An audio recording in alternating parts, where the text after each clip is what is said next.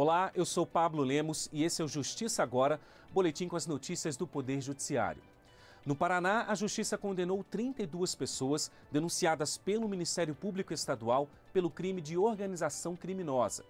De acordo com a investigação, o grupo teria envolvimento com uma facção que supostamente atua dentro e fora de presídios da região do município de Goioré, no extremo oeste do estado.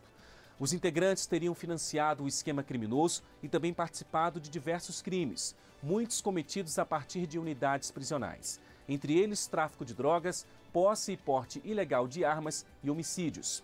As penas variam de 4 a 5 anos de prisão. Três ex-vereadores de Santa Cruz do Sul, no Rio Grande do Sul, foram condenados por vantagem indevida em razão do cargo que ocupam. A decisão surgiu após denúncia do Ministério Público Estadual. De acordo com a investigação, um esquema criminoso exigia parte dos salários de alguns assessores parlamentares, o que é conhecido como rachadinha. Um quarto ex-vereador da cidade também foi condenado, mas com redução de pena. Dois assessores e dois familiares dele foram absolvidos. E o Ministério Público de Santa Catarina lançou o edital do 44º concurso para promotor de justiça. As inscrições iniciam no dia 9 deste mês e podem ser realizadas exclusivamente pela internet.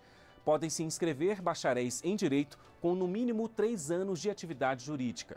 O valor da taxa de inscrição é de 350 reais. As provas serão escritas, de tribuna, orais e de títulos. A primeira delas será de caráter eliminatório, prevista para 17 de março. A conclusão de todas as etapas do certame está prevista para novembro de 2024. O Justiça Agora fica por aqui. Continue acompanhando a nossa programação. Até a próxima.